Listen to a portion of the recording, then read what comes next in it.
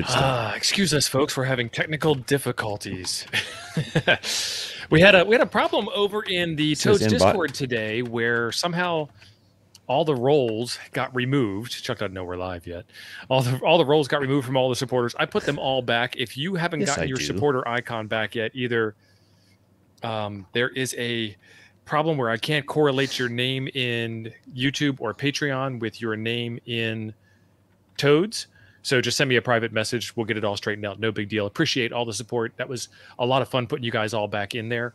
But we are talking about NFED half waves and dipoles and how to deploy them because there's about a million ways you can deploy those things like shrimp. But before we get started, I want to introduce the one other member of Coffee and Ham Radios who has his shit together tonight. Ape, how are you doing? I'm doing just fine, and uh, that was a little bit of a cluster with everybody getting pulled out of the supporters group.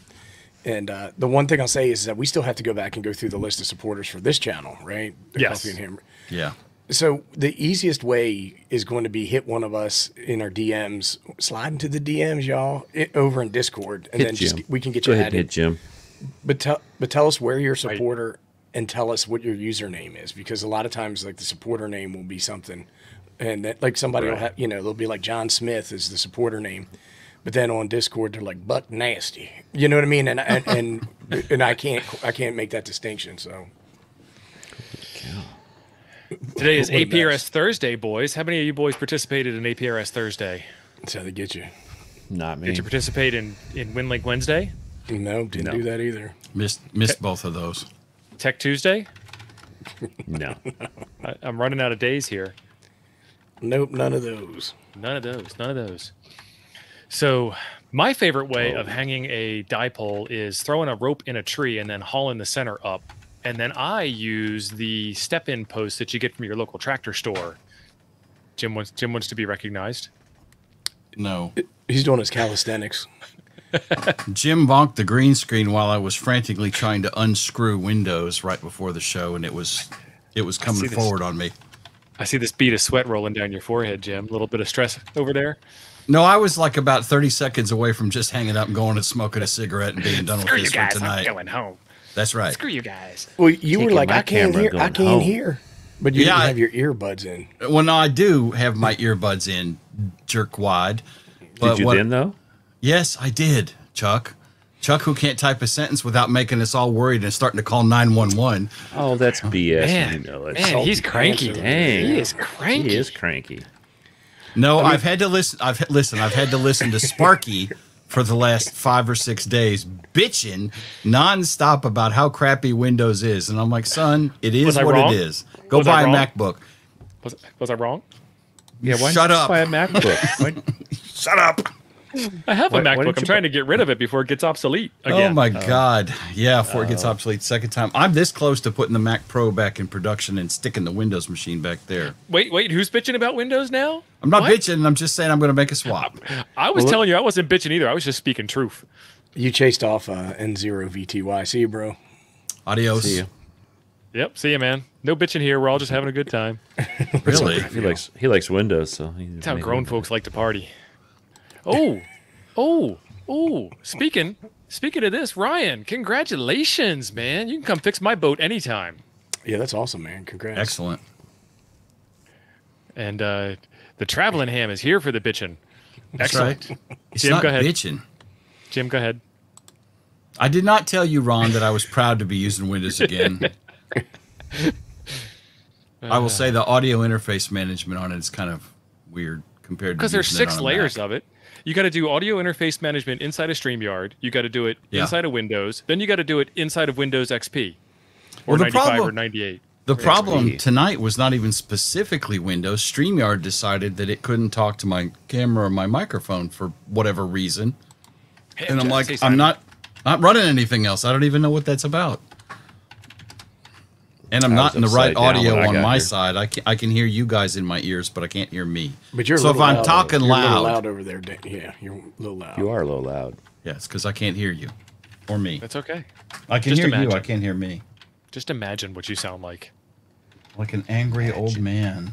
You Yep, do. you got it right. Is that better? Spot on. Spot on. Not too hot for you anymore. Well, you're still hot for me.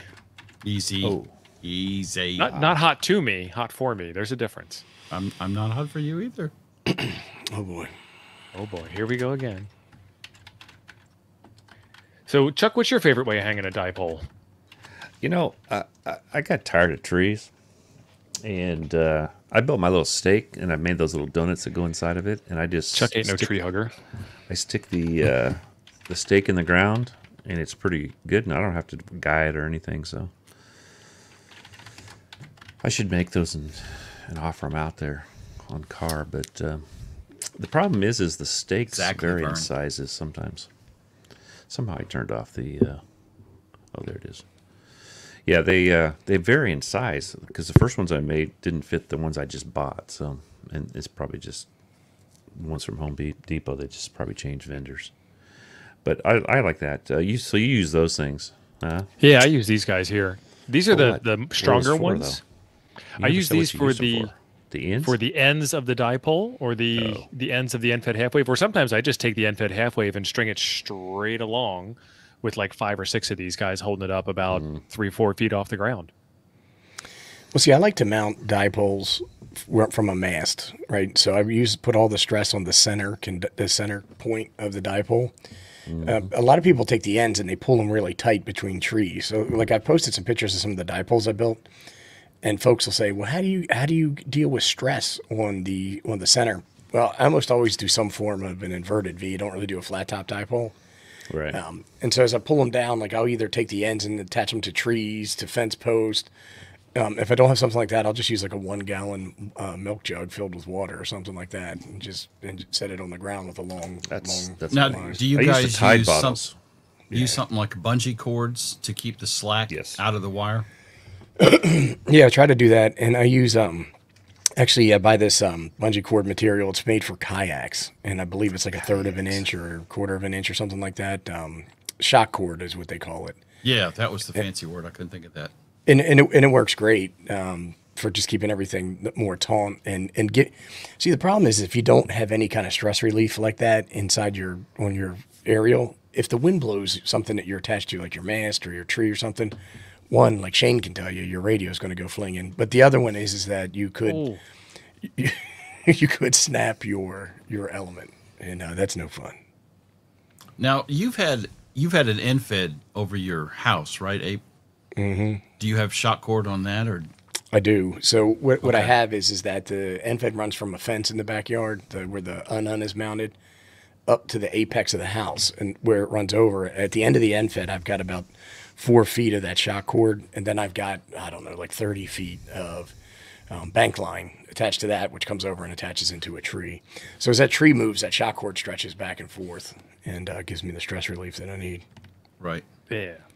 I have, I have shock cord tied to the. Uh, well, I have shock cord and paracord tied to my Tide bottles.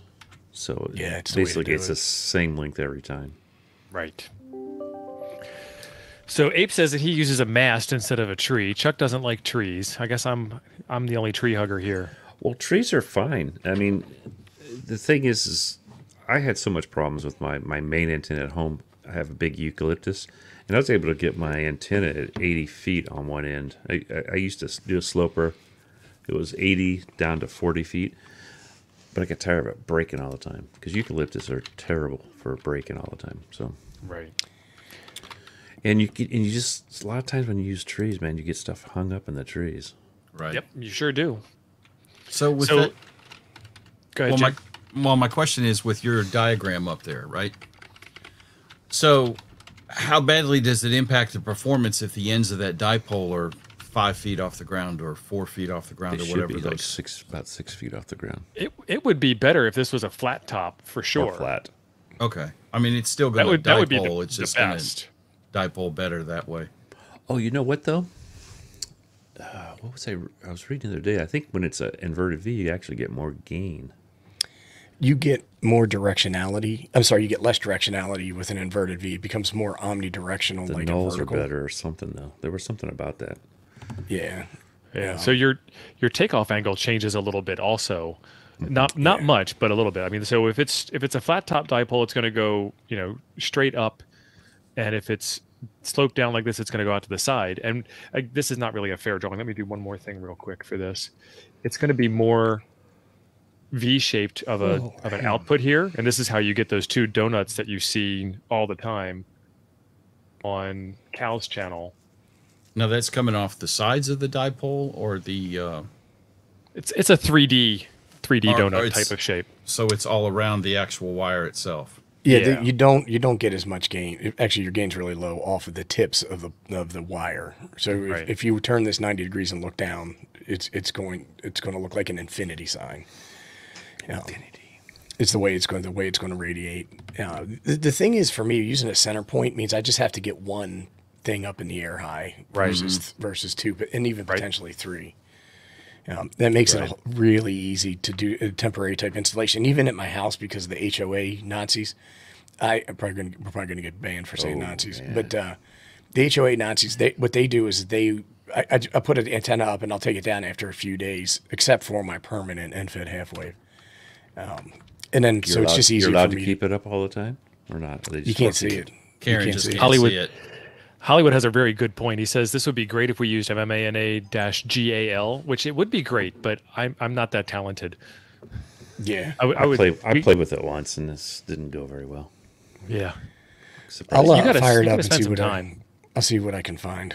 Um, give me a second. So I'm going to make make this really big fat thing here, our imaginary coax. For an end-fed half wave, there isn't any reason why you can't feed it at the end here and then have it go up in this same pattern, this same shape into a tree. You just raise the center of it up higher because what I have been told is that is where the the most of the signal comes off of the end-fed half wave.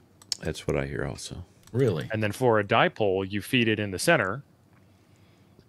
I, ne- I never set my end-fed half wave up that way, but I've been told that that is the better way to do it. Well, you get more, Yeah. like you said, the center gets more power out. And then also, there's no reason why you can't do an end-fed half wave like this, fed into the tree with the high end in the tree. And Yeah, some no, that's- say to I've- that's how I've done other it. end up there, which I don't understand. But I had a, um, a People put the coax up there. Yep.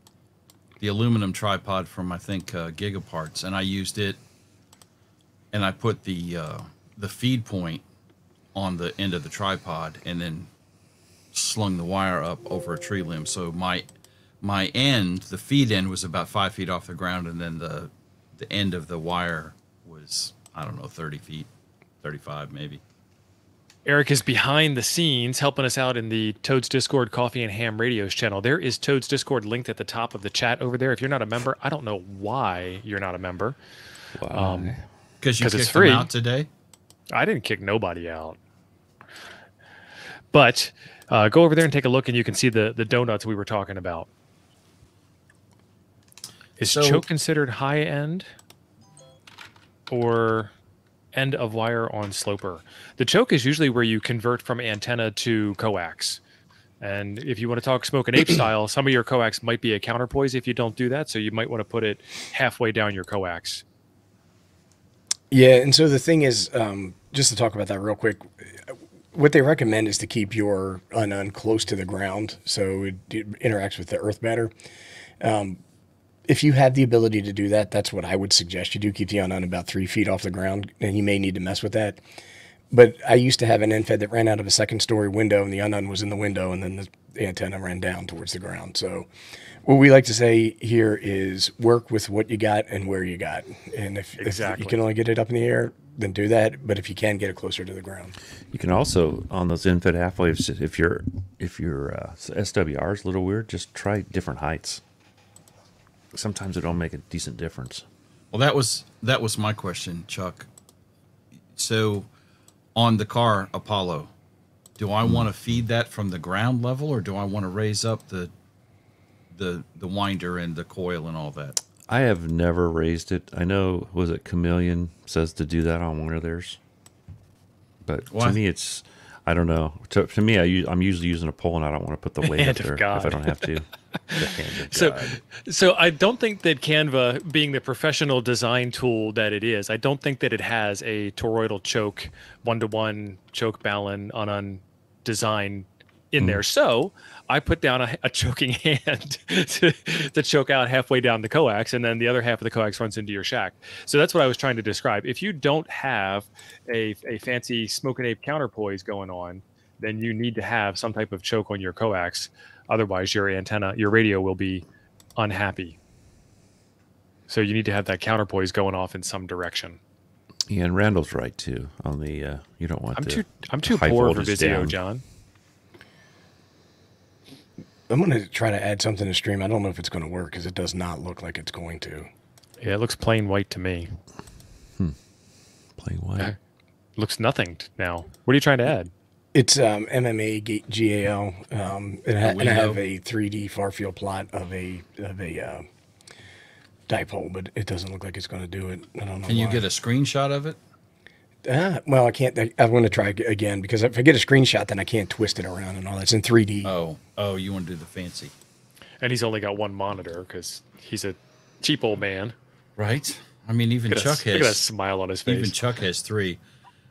Well, I'm only up to two right now, but I You've got a third one potentially standing right. Yeah, standing by. It's up there, up way up there. Well, I, there, and the reason I asked about where to put the the feed point of the NFED is I had heard somewhere, and may, maybe from one of you guys, that for our antenna or any NFED, you want the feed point as close to the ground as possible. That's where I usually have it. Yeah. Uh, uh, I as mean, is said, that a, is that a thing that's better performance that way, kind of deal? uh, yes, is, is is what I'll Okay. say. Okay. I've somebody's set gonna mine come in right here on the like, ground been putting before. Well, so if you're doing a sloper configuration and you put the feed point on the ground or you put the feed point in the air, it don't make no difference because maximum radiation comes off the center of the wire regardless. Okay. There's there's three You know, hands we here. missed. I got. we missed. We wonder. uh, we have missed a whole bunch of fight. super chats. yeah, at least one. I saw one. I ain't complaining, but that's- did we see did we this get more than one? two now now. there's two. There's two. Oh, now. I like it. So apologies for missing them. Um, Yeah. Hold on, let me get some music first- going. The first one was Richie's radio room. That didn't show up on my StreamYard.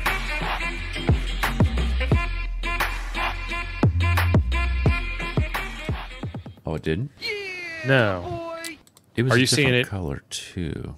Are you Maybe seeing it's it a in YouTube chat? thing. I don't know. No, I saw it in StreamYard. TJS had a super chat, and Richie's. I think that's room. it. Yeah. Richie's Radio. Room, thank you very Richie's much. Radio Room did a super Yes, sticker. thank you. Oh, maybe it was a That's why we sticker, didn't say it. Hey, Richie, thank you. Are we, we're gonna da- we're gonna dance for that one too, right? Yeah. I can't highlight it. If one of y'all can highlight it. I got it. That's not the highlight. I can't. Oh, look at you folding paper. Right. Paying off. Well, I mean, he has meetings on Dollar the golf dollar. course and stuff, dollar bill, right? y'all. Dollar dollar. You know, so he is obviously a player. Just Yeah, I was uh, had a meeting yesterday at the golf course. Well, he was asking about. He actually had a question in there, the direction of that counterpoise, and that can make it directional. Um, and if it's elevated, it definitely will make it directional. What I try to do is I'd like to keep it um, in the same direction, uh, like parallel, I guess is the way to say it. So to yeah, Off like center that. fed. Yeah, pretty much. Um, is, is like how I how I prefer to do it. But again, if I'm at the corner of the fence or something like that, and I got to run it at a 90 degree, or I got to run it underneath of it, then that, then that's what I'm going to do. I do not know why this isn't sharing. It's kind of driving me a little bit bonkers. Oh, jeez. My alarm's going off on my phone. Talk amongst yourselves. So we've all had technical issues tonight, huh? That's awesome. I tried. I tried to share. I made a contact with um, KMRD the other night when I was on the the night of the uh, that I, I did the antenna thing with the uh, the clubhouse, and I could not get that to come up for some reason. So Y'all, real quick, is- y'all need to give a big shout out to my friend Joe Brett. Happy, Happy birthday, birthday, JoJo. Happy birthday. Birthday. Oh yeah. Yeah, happy birthday, Joseph. Um, I guess only we'll 29. uh, he needs some milk. He needs some milk. He probably do. You know what I'm going to Keep do? them is I'm bones going- strong. I'm going What to gonna do, do? A, a process kill on my MMA, whatever it is, and see if that Oh. uh, restarted. Are you third running. Windows?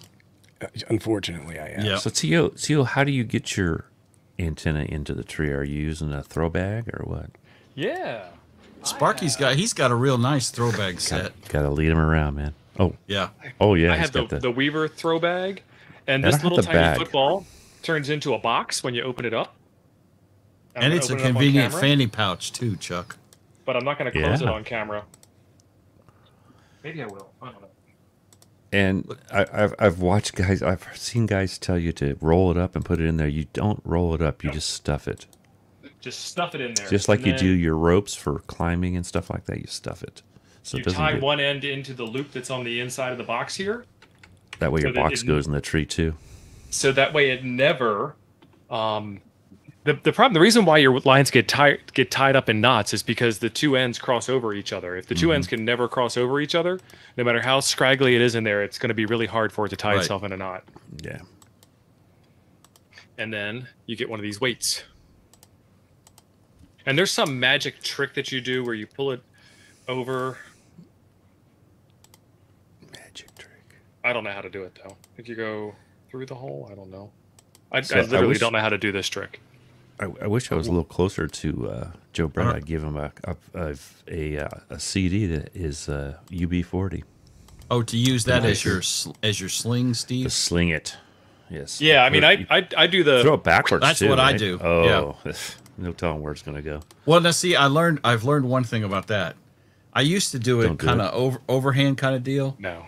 It's I get way. it in a vertical circle now, so I got a pretty good idea. It's going to go up at least, and not into my nuts. So Right. that's you know. But the other way, you, you there's this two-handed method that you can cradle Uh-huh. it back and forth. I I haven't mastered it yet. The tree guys uh, between your legs. Yep. Throw Oh, backwards. see that? Mm, Throw it I am an amateur. Oh, right? see that? Holy He's way moly, too close to things. Chris, thank, you. Chris. Wow. He Ooh, likes look at granny. Much style. I, I got, you got it, Ape. You want me to get I get got it? it. Okay, hit it. We, we need we need it done we need it done correctly. So just give me one second. And here. Oh snap!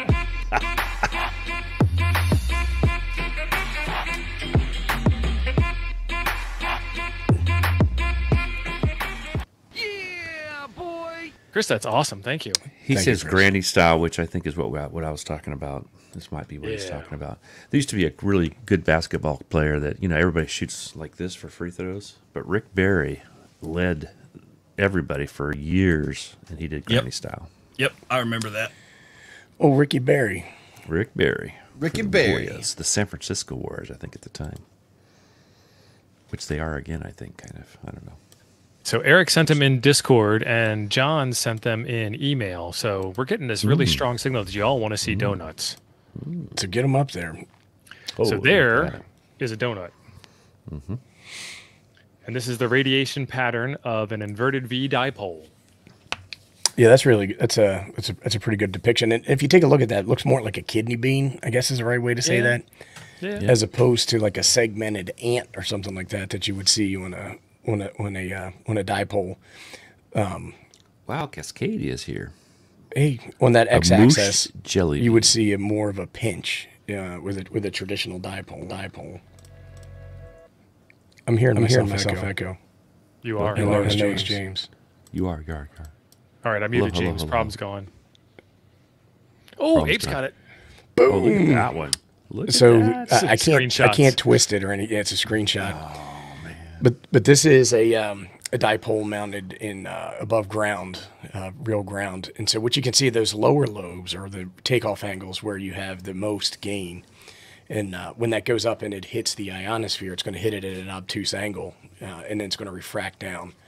Um, at a further distance than it, than the ones at the top lobe. So the top lobe is coming off at a steeper angle, so that's going to be more of an acute angle when it hits the ionosphere.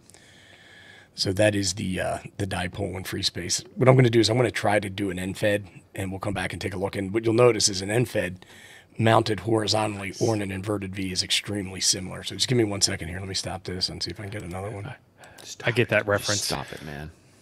Just stop it. Are you allowed jelly donuts, private Pyle? Is chow allowed in the barracks, private Pyle?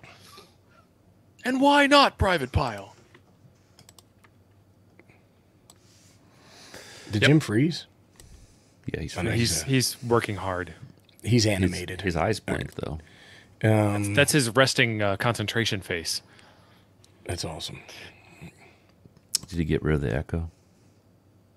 I don't know. We can try. Let's try. Hey Jim, Oh, how's yeah. the echo? Nope, it's still there. there.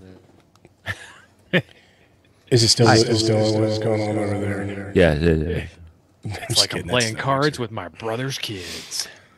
It's a good thing he's an ID guy. I, I suspect he's going to be IT? extra salty when he comes back now. What's uh, He's got his face off the screen right now because it's Oh, bright I red. was trying to figure out what was going wrong there because Right, it's redder than a his, baboon's lock, ass. his lockers are in front of his head.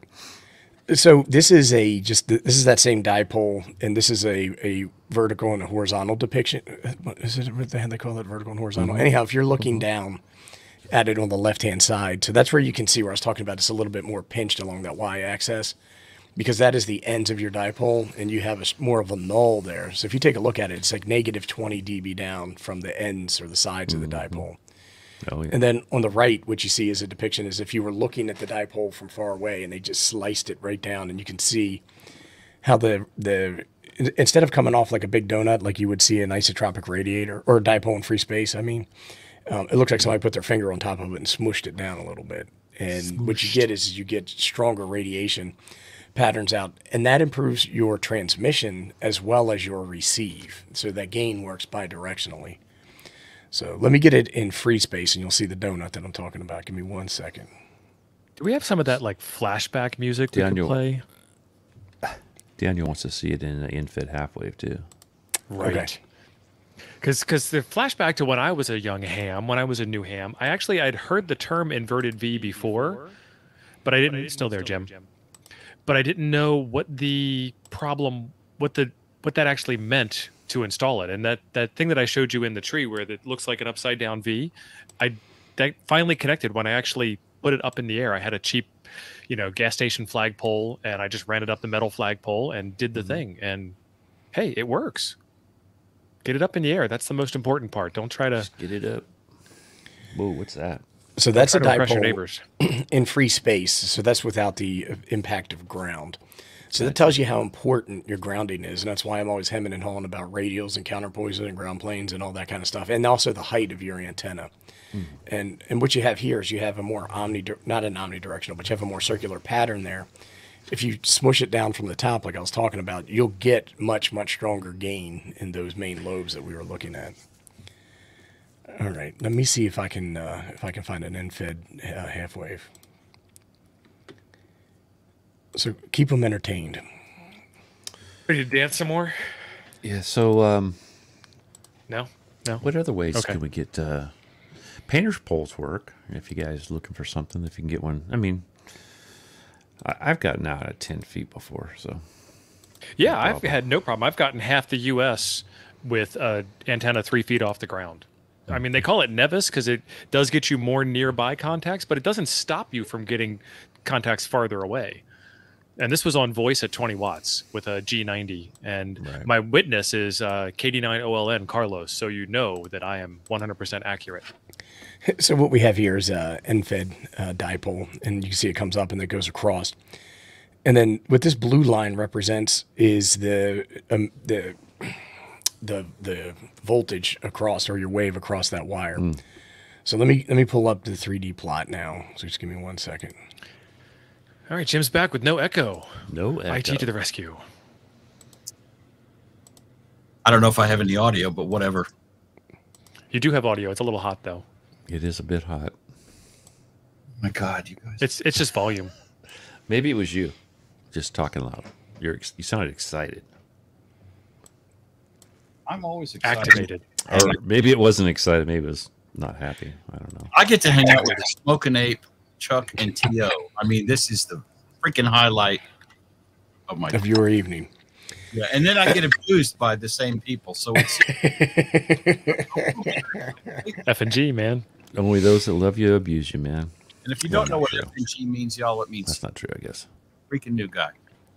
S- But here's the uh, NFED, and this is mounted horizontally. We just took a look at, and you can see that you have less of that uh, radiation coming out of it and going up, and it's more coming off of these off the sides of that y-axis of the. Of Look at the this. There's one in every chat. Jim was gone. Now you got to pick on me, Don. I'm not. I'm not saying it replaces physics. I'm just saying it does indeed work. What's that? I didn't. I didn't. I was missed the debate. Not He was your- making fun of my NVIS that got halfway across the country. NVIS. Well, the thing is, is that when you have an NVIS antenna, it does concentrate energy up, but you still have energy going in all directions, right? And so that's where, like, I had a buddy that had a had a antenna that went out around his fence, and it was like eight feet off the ground, and it was like a U. It wasn't even eight feet; it's probably like six feet. And I remember looking at it and being like, "Bro, that's gonna suck. That's gonna be terrible." And he like shows me his his PSK reporter stuff, and I'm like, "Well, damn." I was like, "I would just keep if you're having fun with it, keep playing with it." You it." ate your words, huh? Right, got- You Yeah, Well, I mean, things. think about going out to do a parks on the air activation. You can't you can't put things on the ground. You, some some parks you can't put holes in the ground. Some parks you can't put things in the trees. right? So tie it to two picnic tables and don't sweat it. Get your park activated. Have fun. That's what yeah, it's you don't about. hurt those Well, picnic not- tables, man. Wouldn't that be a good place where something like a, a carbon fiber mast, or or not a mast, a, a tripod? You're just you're just stirring the pot, aren't you? I, I did that on purpose because Don's in the chat and he picking on you for a minute, so I'm like totally cool with that. And Don and I are brothers of the flex, and you guys are not. So The brothers of the flex. right, Use a kite. I want to do a kite antenna so bad. that would be so cool, but I don't think I want to die yet for this hobby. So you could use something like a tripod. And when I when I got my first HF antenna, the tripod I bought is not it's not like a photo antenna, it's or a photo tripod, it's four antennas. And I'll see if I can find it. It's I got it from Gigaparts and it's it goes up to about 30 feet, 20 feet, 25, somewhere in there, 20, 25. So a couple of those would be great because then you don't have to stick anything in the ground Ape Jason's talking or to you. diet or anything like that. Just saying. Hamster. Jason's probably got it there. Ham sticks will work too. Ain't nothing Yeah, better than a know ham stick dipole. Carbon Um, fiber ham sticks. Look at Uh, those. Dave Casler just did a video on ham sticks the other day, and I was like, "Oh my Uh-oh. god, a ham stick talking!" I got They work. Randall, Pretty- if you can get yeah, your I mean, look, if the ham sticks what you got, then go Yeah. with it, right? ass, that's right. Hey, is is Stan? Did Stan pass? Stan Gibilisco, yeah, he did. Is he Who is sound that he- guy? I don't know who that. He's a I'm pretty Gibilisco. eclectic dude. Yeah, he's like owner and proprietor, and, and his call sign. Owner and proprietor. He's um really, really gifted ham, and he explains like antenna design theory and electronics theory at a really, He really draws high it out. level. He's fantastic videos. I mean, his personality is a little. I mean, the, the guy, the guy was in the in, probably in the chess club and the physics club and the astronomy club. Right. So You were- a lot of people, Aren't you? Yeah, a lot of people won't watch him because of that. But he also has some books published, and I've got a few of them. Yeah. I, I think somebody. I, we used used to know this guy that was trying to copy him doing the drawing stuff. You know, he copies a lot of people. This would be 'Cause he an draws inverted. V dipole, and then you can see this is more like egg shaped, but it becomes Power more omni- everywhere. yeah, more omnidirectional, like a vertical. So your gain in any one direction is not as strong as with a dipole. But the, the thing is, is that you get you get directionality in all directions, which is it's a compromise I'm willing to make. I like it, and the thing is, is that um, you know it's, they're easy to get up because they only require one one mount point. And and John is John is spot on. Um, you know, he, and he has a lot. Stan has has a lot of videos still on his YouTube channel that are not ham radio related. That are more like physics and stuff like that. Oh, does? But, um, I didn't know that. Yeah, I watched a bunch of his videos when I started, man. Yeah, Him no, and he's Dave. Him and Dave. Um, oh, what's that other guy's name? He builds a lot of antennas. Um, I'll I know who you're talking about. He does like the the soda can antennas and all that kind of stuff, right? Yeah. He did a lot So of the Kevin's- uh, hex beam or the- the heck. Um, uh, what do you call them? Um, cubical quad stuff. A lot of that stuff with PVC and stuff. Go ahead. Yeah, so Kevin's asking about a tethered balloon, and a tethered balloon would be awesome. Uh, a friend of mine was telling me the other day to get one of the old Kantronics KPC threes or whatever they are. They're they actually run off of a nine volt battery. Stick that underneath of a balloon, send it up in the air, and then you can do digital communications over APRS with a very wide area because you have your your Good job. digipeater in the sky. I did that. that. is um, right? Actually, I have it in, in one of my videos. It's called uh, Vacation Ham Radio is the name of the video. And I took a big kite and I let it out probably about 30 or 40 feet. And then I put a barrel swivel on there and I connected a um, J pole antenna from Ed Fong because they're really skinny and light. And I'll let that get up there probably around 25, 30 feet. And then, um, you know, started to hold my HT like this because the coax was running out. And uh, was able to do some talking on it. It- it- And it's fun, you know, do stuff like that. But you do run the entanglement. You know, you get everything all twisted and tangled up there if you're, if you're not careful. Jim, you're And- muted. Dude, why'd you tell him? And anyhow, here Oh, is the. Uh, this is a vertical, and so as you can see, it has a lower takeoff angle there. That's the, Oh, some of the stuff that, that. Callum's always talking about, the lower takeoff angle for, for good DX. But then you can see the top of it is is pretty much circular, which means that you get an equal signal in uh, in every direction. It used to be that uh, most of the time your verticals worked really good for uh, 11 meter. Yeah, well, also Unless- a lot of unless that you're- is like ground wave propagation. You know, if the skip's not running right, Right. S- so you want to make sure the, polarization. the uh, Yagis would work good too. I mean, Yeah, for sure. What about a Dupin Cyclide? Cyclid. I don't even know what that is. I don't know either, but Jody's asking. sorry, sorry, Jody. We're not smart enough to answer that one. No, but it sounds dang. I've never cool. heard of that before. the Schwarzschild radius or the Oort cloud. So we were talking about. I mentioned tripods a minute ago, and um, I've got two of them I want to share. Somebody in the chat mentioned this one. Yep. I got it. Oh Now, yeah, this that one's one- fantastic. How how tall is this thing, Steve? About three It's not tall. It's you know 19, 20 inches, three foot, somewhere in that range. The bottom legs extend, so it gets a little bit longer. Depends But the how- thing is, how it- straight up and down you said it. Yeah. Let me grab mine. Oh, you got one. Excellent. Yeah. He and I both got one. That's right. You do. That's right. I haven't done So my it, video. it gets on the, uh, super antenna yet. compact. But that Joker's expensive, right? I mean, that's that's the thing right there. It gets super compact. We pull it out of its sack. I dropped the, the back floor.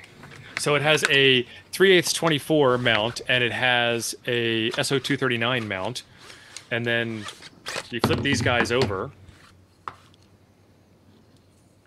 And that goes right in there. Through. So you could mount a Titan hand straight to that and then sit it on a picnic table or something like that. Oh, And. I'm not saying that just to tweak the primate because I, I know he's gritting his teeth right now. This is the antenna that goes on that tr- tripod, right? But this is an MFJ, Similar. the yes. Yeah, it is. not Is the that- Grundle. Is that what it's called? The Grundle? Gradall. Gradall. Something like that. Ga- Gable. G A B I Gable. Yeah, Gable. But this is and the then those version. those legs go out flat so you also have a very stable base if you're working Oh, Okay. yeah. Well, that, that's what That I like about that ground. antenna is the flatness of it. So you, the, the thing is, the more that you raise the feed point of your vertical, the more that you're going to need to kind of tune and mess with your radials. Radio.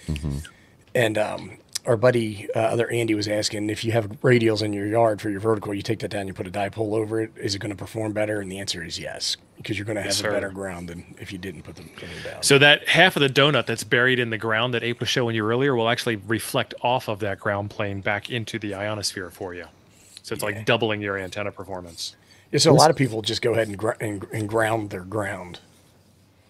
I got to get this up in the in the air. This is what I made those radials for. Is this antenna? Yeah So this is um, this is the other one I was talking about. This is the one I have. So this extends up. Um, well, this is a different one. This is not the same one. This says maximum length is 55 inches, but this thing I got goes up 15 or 20 feet. Hmm. And this Nice. one, I don't know why it says 55 inches. Because that's only four feet. This thing goes up well to 15. I guess more like 20. So, and this was my point. You could use this for the end of your end fed or something like that as well. So you only have to get one one end Tio, of. Tio just took, took off. You, Chuck, you got that question? Cascadia is asking about uh, how do you mount the. Oh, Tio's got it. i was getting a demo Oh, Let yeah. So for- one- there you go. So for mounting your your ground radials, I I use the the patented KK6USY method of putting on power pole connectors to little leads, and then these guys here just connect to what would be the shield of your coax and there's another there's another so239 sized nut there that holds those in place and then you just fan these out in all directions from your antenna and Tio once the and snow goes away Yeah, ahead, you'll Chuck. have it out. I was going to say you and I both have contacted the guy that makes those and trying to get him to fix it to where you don't have to do that, but uh, he hasn't come up with anything yet. Yeah We, we explained they to need him to what be- was going on.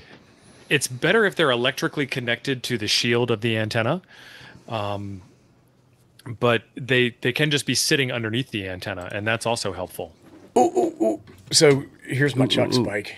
This is just the MFJ 17 foot whip and mounted to the CB tr- window mount. Let me go on the on the big screen here. And let me hide the current comment. So what you would do is on the back of this, you would put this on some sort of spike. Chuck has a really nice um I believe it's a rebar concrete former. It's a concrete form. Yeah, so when this is up like that, and then what I did is I made these these bundle radial bundles. This is 17 feet. It's four four wires, 17 feet each, and I have them going into what I call the bob clip because I got this idea from HOA Ham, who's awesome. And then what I would do is I just squeeze this baby like this, connect it connect it here like that, and then I can run these out in a fan pattern. But because I have a whole mess of these, I can just keep putting them down in different directions, um, and that would give me a really nice ground plane for a vertical antenna. each other, right? So you could have all those. Yeah. Yeah, and so what you want to make sure is you have continuity from your radials to the co- to the shield of your coaxial cable. Somebody had a uh, another question. Um, oh look, Bob uh, Shooter was asking me to do that already. Um, the yeah, the, the bob clip is definitely the way to go. But there was another question in here. Yeah. Connect them to the shield of your coax. Yeah. Whatever that happens to be. Like on the Wolf River coils, it's the metal tripod base. Oh, here we go. This is the one I was looking at. Daniel saying, how about an end-fed sloper where the lower end is like five feet and the upper end is thirty feet or so? That's what I Do was. it. Did you answer that one already, Jim? We well, we talked about it, but yeah, Daniel, that's that. I played with it two different ways. Literally, I have a, a tree that I would throw the end of the wire over the radiating wire on an end-fed half wave, and then I played with the feed point laying on the ground, you know, and just like a sandbag holding it in place, and then I played with it putting it on that tripod that I just showed, and it seemed to work a little better on the ground, laying on the ground. So, So you were saying um, But you absolutely could do that. you were saying you played with it twice and then you went and worked on the antenna. Is that what you said? Yeah. Okay. I'm just gonna. So this is another popular way that that hams do this. You can either get what's called a hitch mount, a receiver mount that goes in the receiver hitch on your truck, or you can get a drive-on mount. And these Nope. are They're they're for, Prevalent on Amazon. for, flagpoles. Actually, is what the flagpole mount is what it Yeah. is. And then stick whatever pole you have up. The the the four foot military masts they come in uh, fiberglass or aluminum. Those are really popular. And then just get it up as high in the air as you can get it, and get Where on the air and make contacts. Get those masts. Steve. Is I, that d- I did the. Go ahead. Do you have a? Do you are you have, are you have something? You're clipping all. I mean, your your voice is going in and out all the time, Jim, yeah. Jim. I I get those masks. I got a big bag of them on um, eBay, and there's a lot of accessories for them because they're super popular. Um, you can get them at an Army Navy surplus store. Uh, they Oh, have yes. they have guy plates that you can add to them. Um, they have a spike that goes in the ground. They have all kinds of stuff you can use for them. You're talking the military ones. Yep. What's cool is you can buy their tripod, kind of like what uh, uh, Jim's been talking about. But it, and it and as you as you go, it goes through the tripod. You just p- keep pushing them up and just adding four foot sections to them, Yeah. and that holds it for you. We, we got some really good pictures in the uh, Coffee and Ham Radios channel on our Discord, just for the uh, for the record. Of S- stuff. So I got one coming up, but this is Look um, at. This looks Jeff like has, has got a picture of his butternut squash, his his, uh, his butternut butternut ground squash? plane, That's DX and so that he's got a whole mess. plate He's made. got a whole mess of radials on there. that looks like a military mast or the MFJ mast. Yeah, that's uh, that's I believe that's a tilt up mast too, so you can Yeah. you can fold it down and work on it. Um, Doesn't DX Engineering? They sell those, I think. Yeah, De- DX Engineering has a really good section of ground plane ideas. Yeah, they do. That's pretty snazzy. And Canada Joe is saying, to be honest, dipoles perform way better than verticals for me. It's crazy noticeable. I agree with you. I want to start a holy war. I wouldn't mind a nice vertical like a DX Commander. But I did a modeling video. uh, Um, well, I did two modeling videos, one on antennas. We won't talk about the other one. But the antenna one is um, it's called ground planes, uh, or something like that. And what I did is I just went through all the different, uh, adding more and more radials to a vertical antenna and how well it worked. And at the end, I showed the dipole performing better in the model. The um, Depends on who you're talking to, though. well, the thing about it is, is that your dipole Distance. has to be one half wave off the ground, right? If you start pulling it down, then it, go, it gets a little crazy. That's easy for 20 meters or 10 meter dipole. 10 meter dipole, 16 feet, 20 meters around 30, 32 feet. When you get a 40 meter dipole and you got to get that joker 60 feet in the air, that ain't so easy. You know what I mean? Yeah, what, what what I'm talking about though is if you're talking to the same person and your dipole does better or your vertical does better, it's because of the distance they're away from you, most likely. Because uh, because the the um, sometimes the if you're if you're too close to them, the vertical will shoot over them, right? Because when I talk to the guys Right. in San Diego, my my doublet works really really good to that for that distance but when I when I when I talked to those guys, I hooked my uh, my um, half square up. It shoots over and my signal is about two to three s units down. But into South America, it was two or three better. I get I get different results. So the flex is on a DX Commander Rapide and then a a nine to one random wire antenna. The the random wire is probably twenty five feet up, and then the Rapide's just sitting on the ground. Mhm. And some bands just seem to work a lot. I'm I'm getting all sorts of Europe and South America on that random wire way more Yeah. reliable than even on Yeah, the the- DX Commander. The, the DX Commander is an amazing antenna. and I'm not saying anything different than that. Um, so Jeff is saying that he got really good performance out of his DX Commander versus the 40 foot off center fed dipole. Um, some of the best performance I ever got was off an off center fed dipole. Um, but it, it, there's so many different things that impact the way that your antenna is going to perform. Um, you know, we're proponents of work with what you got and where you got it and go out and have fun. And then as you learn and you want to make incremental improvements, hopefully, like I've made adjustments to antennas where it's, where it's made them terrible. And, and uh, so you always have See to you sit later, there Daniel. fi- figure out. See you, Daniel. So you did. Um, I, I can't put a DX. I guess I could put a DX commander up here, but the radio plane would definitely be an issue for me um, when I start talking about like 40 your meter. guy. Yeah. Your yard guy is uh yeah. Right, right. Well, plus kids running around and dog running around and all that other stuff. It's just not. It's just not going to happen. And then, to me, it's it's the, putting it together is probably a little bit of a bigger job than I want to be able to do and take down every couple days you know, to try try to beat the HOA. It can be a pain in the butt just dealing with the radials because you you really need to get out there and staple them down, or else commit to not mowing or weed eating that area for a while. Yeah, Kind it'll grow over eventually, usually, but Ed, my random wire is 34 and a half feet. I think that's the length. It's in there somewhere. Yeah, they, there's a chart that has the recommended lengths and stuff like that, yeah. and right around there sounds sounds about right. And that's Right. going to change a little bit based off of velocity factor and stuff. So when I use a random wire antenna, I'd cut it for around 35 feet, and then I have another one like 41 and a half feet, something like that. And I think I have a 72 footer. I just cut it and I put it up there, and I, I don't even take an SWR measurement of it or anything like that because I use a tuner with it anyway, Right. like a, like a 10 to one, and just say there there it is, you know. and, if it- and that's what I'm doing. Yeah. I mean, I've got a, I've got an LDG on that on that antenna anyway, and it, um, oh geez, it tunes up. Well, I mean, it's actually pretty darn resident on, on pretty much everything except 80 and one. You're saying using the LDG, the nine, they're nine to one. They're nine to one balun and then an LDG tuner, and It, they're really affordable. Like I think Tio, you just bought one. Wasn't like thirty bucks or thirty five bucks or something like that for the LDG? For the LDG tuner, no, that was a broken one. It, they're usually about 120, which is still a good price. yeah, Oh, I was talking about the ba- the balun and Ununs. Balun is Oh yeah, yeah, they're like 35. Yeah, they're not bad at all. It's almost cheaper to to buy it than it is to make it yourself.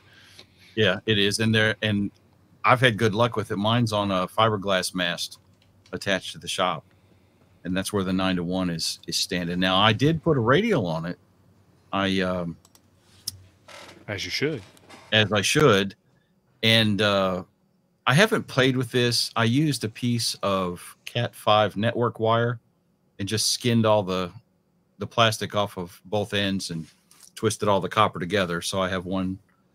I don't know. Probably I don't know. It's got to come down the mast, and then I have it going out into the into the yard. So I don't know. It's probably 35, 40 feet long, maybe a little longer. And I've thought about doing a couple more, but I don't know that it'd make a whole lot of difference. Honestly, like I told you guys the other day in chat, the last the last couple three weeks, man, 12 meters on that random wire antenna. Yeah, I'm I'm all day FT8 nonstop. I mean, probably 60, 80 contacts Is, a day. is that a nine to one you're using with that? Yeah. Because when you say random wire to me, sometimes I think of the Elecraft. Um, they just do a wire and a 2nd Mm-hmm. wire as your um, your ground, and just tune it, and that works great. Yeah, I, I've got tuners on it, but I mean on 12 meters, it's I mean it's there's a tuner in there and it and it's Yeah. auto tuned, but I mean it just nails it. And So those transformers really have to do with what your feed point impedance is, and Mm-hmm. it helps get you closer to your 50 ohm match, and then your tuner can bring you the rest of the way in. Yep. And on my doublet, I found that using baluns of you know um, one to one, four to one, nine to one didn't really make any difference. The tuner was strong enough to tune it without. So Right. it just depends on the tuner. they're actually well, I mean, saying so something like uh, the our the car end fed, right, should have an impedance of about twenty four hundred and fifty ohms. Yep. Which is why we're using a forty nine to one balun on man, it. look at you step it down. mathing Yeah. online, man. And then, well, yeah, because I remember that one. I Oh. can't I think on the nine to one on the random wire. I'm using a nine to one because I think I have around 450 ohms of impedance. I'd have to go check it. I don't remember what it shows up as, but um, but yeah, that's and that's working great. And that's not anything special. I mean, literally one end of it, the end with the um, with the balun and the feed point is attached to a gigaparts fiberglass mast lashed to my shop side, and then uh, the other end is thrown over a tree limb about 35 feet away, and it works just gangbusters. That's that's the other thing I'll do a lot of times too with a, with one of those. Like I have ten meter. I got like three different ten meter poles, and I just a lot of times just throw them leaning away from where I'm putting my end-fed up into Mm-hmm. a tree someplace into the branches, and usually I'll try to pull it bet- behind a couple branches, and that works good too for getting the antenna up. So um, Just wanted just wanted to share that. I'm going to snake the screen for a second because we were talking about baluns and ununs and all this stuff. Um, oh, that's not what I, that's not what I wanted to Oh. show. Let, let me do this. Is that there we Like go? I'm playing cards with my brother's kids. Oh, Right. So- that stuff. This is the um, earliest, earliest kind of the prototypes of the of the the Apollo end-fed half wave that uh, that we put together. This is exactly how we build them now for the for the antenna kits. But this is a 49 to one. It has the two turn uh, primary, and then it has 14 or uh, was it 12 secondary with a crossover. Uh, and we this is what we use, and typically we'd mount that lower to the ground. I think there's another question around that. But what I wanted to do is I wanted to come up with a four to one, an off center fed design. I'm not going to say four to one that we can put onto our frames that we already are using, right? Because we want all of our antennas to be modular and you can mix and match and stuff like that. And so this is a one to one choke. So it's really important to use a choke with a four with an off center fed dipole because your your legs are different lengths and you're, you're definitely going to get CMC. So you have to incorporate a choke in there, and we'd want that on the on the um, device itself, on the on the winder. And then we were using two binocular cores to come up with our. This came unsoldered. These are um, 450 ohm resistors that we can use to to kind of figure out what the impedance matching is going to be. But just being honest, I have had a heck of a time getting it right because this is more like a 2.8 to 1 as opposed to a 4 to 1 and where you feed your dipole antenna, center fed around 75 ohms, and all the way at the ends, uh, 2,450. So I'm, I'm trying to get this around where this would work, which is um, probably around a 66%, uh, anywhere from 66 to probably 75% uh, fed on the on the dipole. But um, I just thought I'd share since we were talking about all this stuff. I have not gotten this impedance transformation correct. And I got frustrated and I set these down a few months ago and I haven't touched them. But You sure wrap some pretty toroids, boy. this one's a little janky. But but uh, thank you. You got some pretty roids. You got some pretty roids there, boy. So now how do I how do I So go I, back? I'm to, going to throw out something that's um, that's related, but may cause ache and consternation. 'Cause I haven't read the full article yet. I caught an article somebody posted in Discord yesterday, and the guy did a bunch of testing with toroids, and he was talking without a crossover, yeah, I mean, Yeah, you can. Yep. just wrapping. You can make it that way too. and ditching the crossover. And he had all his wraps basically on one half of the of the coil. all smushed. Um, I mean, yeah, they look, I mean, they look good. They looked as good as yours, really. Yeah, I, I saw it. I, I, read. I read it. Um, and I've seen other folks d- do that and argue that. And for me, I think you kind of want to get a baluns of direction on there. I, I think that what they do is they take two of those and they hook them together, and then they feed it through a VNA, and they get a, uh return loss measurement and divide that by two, and that tells you how efficient your balun is. And what they've seen is the baluns that are wrapped like that are more efficient than the crossover balance. I, I, right, Colin, our, our buddy out in, in uh, he's he's Scottish, right? Yeah. Um, Yep. I it, he's really bright, and I really trust the work that he does, and he he has demonstrated that it's more efficient to do it that way. then why do we do it the way? To make it end up right. Yeah, Is the guy we stole it from that was his design? yeah, right. That dude knows his stuff, man. That guy we stole it from. Yeah, right. No, there's there's about a million different ways you can make that transformer, and right. they, you know, Colin actually did a whole video series on, you know, different winding methods and whether you spread them out or keep them close together, and Yeah. actually charted the performance out. And somebody's got some time. And I think while we're talking about end-fed half waves and dipoles, I think we have some end-fed half wave and dipole information to share with you that might help us keep the lights on. Yeah, we could do that. See if I can find that. Just leave the lights on. Hi, I'm Chuck with Coffee and Ham Radios, and we'd just like to show you our uh, two antenna kits that we have. We have the Apollo and we have the Mercury. And this is the way it'll come to you. If you buy one to two at a time, we can actually get two in a box so you have a friend, or you want one of each, you can save on shipping. Okay, this is the Mercury antenna kit. Now it comes with the uh, parts list, and on that parts list, there's a way to get into the instructions. In the instructions, it'll to give you uh, measurements for four bands. That'll get you pretty close. Leave it a little bit long. There's plenty of wire, and that way you can uh, you can adjust it to the part of the band that you want. And here's all the parts for it. We have a high high quality toroid, magnet wire, all the parts you need to build this. Both of our kits come with uh, high quality silicone wire.